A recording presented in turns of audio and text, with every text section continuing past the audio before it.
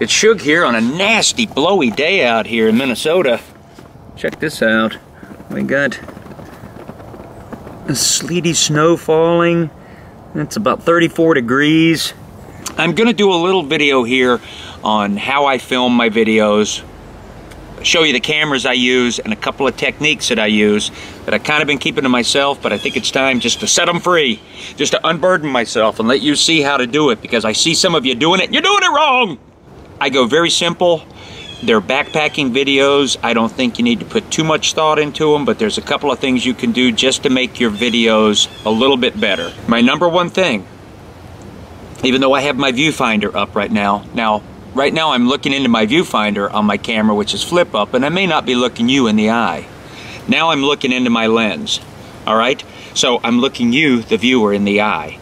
I don't like when people are looking up and looking over my shoulder here. I don't know what shoulder I'm looking over right now. So if you use your viewfinder, learn to use it to frame yourself up. And right now I'm just flipping mine down and I only have the lens to look in. So I'm looking into the lens and talking to you directly. I think that is paramount in getting a good video. There, I said it. These are just my opinions because a couple of people asked and they asked me, so I am telling you. And another thing on videos is please be very expressive with your hands whenever you talk.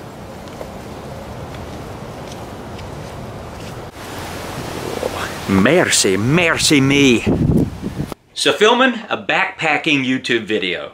I carry one camera for the most part. Really bring the camera I'm talking into right now, which is my Sony DCS HX80 digital camera. I love this camera. Got great zoom, it's got great sound, it's got a great picture. This is the camera I used to use all the time. It's really thin. It's the Canon ELPH 110 HS.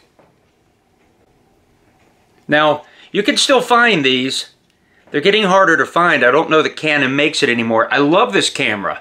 Small. This is the one I used to throw all the time. I probably went through three or four of these cameras. I broke them a lot. Now I don't end up throwing this one I'm talking into right now because it has the Carl Zeiss lens. It's a beautiful lens. It's expensive and also, um, you know, like in this camera, the 110, the lens comes out oh, you know, that far. But on the camera I'm talking into right now, the lens comes out a lot further. It's a high-end lens, and in my ruffian ways, I just don't want to break it. No matter what camera you use, um, the important thing is to get to know your camera. One of the reasons I switched from the Canons to uh, the Sony was the last one I got was this Canon right here. This is the Canon ELPH 170 IS, and it takes a nice picture, the video quality is good, but some of you might remember um, I would put out a video, and even when I was editing, I'd go, there's some background noise. It always sounded like there was a stove hissing next to me. And a lot of you viewers mentioned it. And this particular camera, it's a cheaper one, and it had just kind of a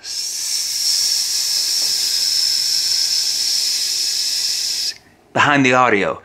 Drove me crazy. Drove some of you crazy.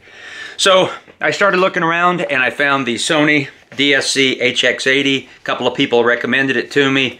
I've been really happy with it. It's a little bit thicker. I carry it differently. I used to carry the Canon right in the side pocket of my man capris. Now I, I, I keep a small pouch. By the way, that pouch right there in the belt, that is an old case I bought and it's called uh, Case Logic. I think I got that at Best Buy years ago. It just has snaps like that. It has two snaps, and I can just snap that right onto one of the straps of my waist belt here on my ULA circuit. So it just rides right there. Okay, I've switched cameras now. This is my Sony right there. That's the good old Sony DSC HX80. And I've got my UltraPod on it. Here's my pouch. And because it's a bit of a, it is a thicker camera, and you can see when I turn it on, the lens, lens does come out a bit more. And when I zoom, the lens tends to stretch out a lot. So I'm always more careful with it. And I keep that right here in this pouch. Because it's a bit too heavy to carry in my pocket. I just turn the tripod so that it sits just like this. And I'm ready to walk and I can access it quickly whenever I want to shoot. All right, one thing I did want to say is in this video, I'm not going to cover editing. Well, there's a million tutorials on YouTube. You could find your own editing tutorial based on the editing program that you use. I use iMovie because I'm a Mac user. I can pretty much do everything I want with iMovie. I do have a version of Final Cut, but Final Cut to me just has more features than I really need for a backpacking YouTube video. It's not like I'm Martin Scorsese here. So on editing, just practice. The main thing about editing is practicing using your editing system. The first couple you edit probably won't be good. Take it um, don't use too many transitions. Just basically use cross dissolve. Don't do all the fancy stuff. It, it, it just goes nuts. Learn to uh, tweak your audio so that your audio is even. So you don't have a clip that sounds like this. That clip sounds like that! You know, you can adjust your audio levels in there. That's very important in editing. And do not be afraid to fail. You will only get better. Heed those words. All right, as far as uh, using a tripod, I use this one called the UltraPod. Also, I like all the articulation you can get here. You have this knob. I have it pretty tight. You can loosen up, and that loosens up all these parts right here. So you can get a lot of angles on your camera. Turn the camera this way. Sometimes you want that this part laid back, and then you can stand the camera up like that. So this ability to be able to move this part up and down, to be able to tilt the camera head like that or that and in all those directions is really handy to me. It, it's really easy and stable on the ground. One feature I really like with this one is it comes with a little Velcro piece that straps on there and I use this all the time. Okay, if you get anything out of this video at all, and I hope you get at least one thing. It's using a tripod with your camera. Now, I do it sometimes, it's necessary, but when you hold your camera with your hand, uh, you tend to get a little camera noise. You still get it with a tripod, but holding with a tripod eliminates a lot of that noise. And most of the stuff you see me filming, I'm holding my camera like this, all right? Now you just get to know your camera after a while. If you're at arm's length and you're talking into the lens, more than likely you're looking into the lens. Just sort of check that you're not zoomed in because otherwise it's like right up in your face. But I talk like this and hold my camera like this a lot. This is probably 95% of what I do. When I'm walking on the trail a little bit, I got my camera right here. You know, I try to use either hand but I'm left-handed, so my left hand feels good. So you're looking at this side of my face a lot. I think it's my finest side. Think of your arm as a camera boom. Like, my arm is kind of locked, because one thing I noticed in my early videos, you know, that camera was just jiggling around. Be very conscious that your arm holding your camera wants to be smooth. So try to keep your wrist kind of locked, but, but, but soft. A soft wrist, yet a locked wrist. Same with your arm. And you know, you can kind of float it a lot of times when I'm doing a standstill shot, I'm talking into the camera and I kind of move the camera around, down a little, bring it up a little bit, and kind of talk to you as I'm sort of floating. That is a lot easier to do than just trying to hold it really still with my arm because you'll always get a jiggle. And the same thing whenever you're shooting out in front of you at something. Um, I try to remember to do this every time is when you're going to do a pan. I like I'm panning, let's just say Lake Superior, or a view from a mountaintop, or an ocean view. Hold your breath. because my new camera has such good audio, I notice it picks me up wheezing sometimes. But I'll kind of hold the camera with two hands on the tripod, move it very slowly. And don't pan this fast. All right, I'm going to turn this camera on and pan it both those ways I just talked about, you'll you'll kind of see. All right, so, um, oh, there's me in the mirror.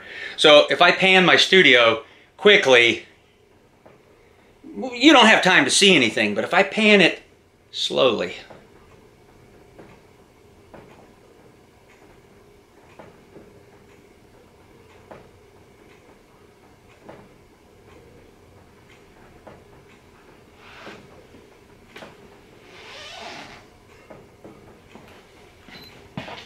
a, a pan can go that slow. I've learned that by by doing and just notice slow it down, take your time. So everything you do, if you're filming yourself, think of this arm. Don't be just yanking it around. You got to be really careful of like letting it float. Use this arm as a boom.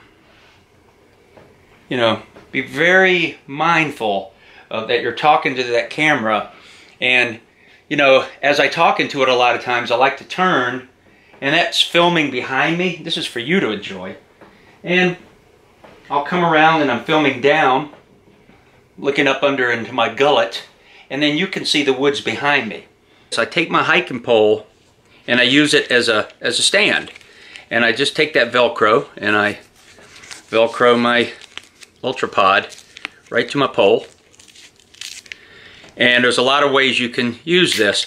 One is I just go and I stick the pole in the ground and you know it's basically like having a tripod out there and then I step out in front of the camera and talk to you. You've seen that in a lot of my videos, full body shot.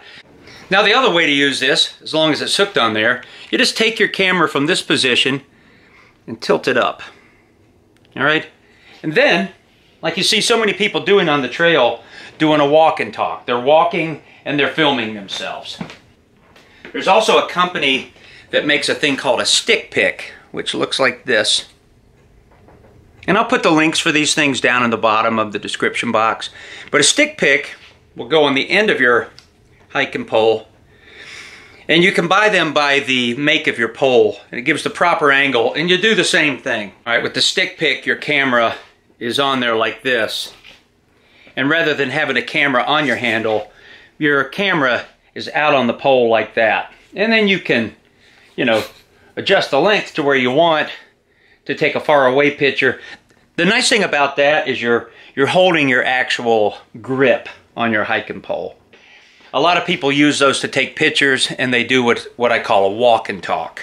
This is just another opinion of mine on the walk and talk. Now, I, it's really easy to do. When you're on a backpacking trip, um, you know, you get busy in camp. If you're with people, you're talking, you're visiting. When you're on the trail, you tend to kind of be by yourself at times. And I know that's when people want to do a lot of talking into the camera. If I watch a video and it's nothing but a walking head and with the woods going by, and even though they're, you know, pontificating about this or that, and believe you me, I know I'm a pontificator, a lot of palava coming out of me. I can go on and on. But I actually try to keep my walk and talks to a minimum because I notice I used to do it more and I bored myself with it. So take the time if you're a filmer, do a little bit of walk and talk when you got smooth trail, but take that moment to take your hiking pole or your camera and whether you hook it on a tree if you don't have a hiking pole and set it somewhere stationary and stop and just do your report into the camera. But I think too much walk and talk on some people's videos, it's 90% of their video. And boy, this is what happens when I watch it. Hmm, good.